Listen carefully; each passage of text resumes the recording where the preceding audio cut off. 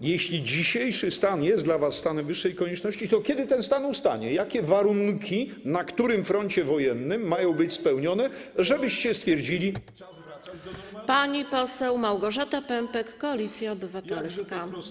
Prawda, jakże to prawda. A pan to jeszcze modli się po polsku, czy już po rosyjsku? Bardzo proszę, pani poseł. Pani marszałek, marszałek Gosiewska, bo może młodzież nie notuje. I największy ham Rzeczypospolitej, ruska onuca. Bardzo proszę.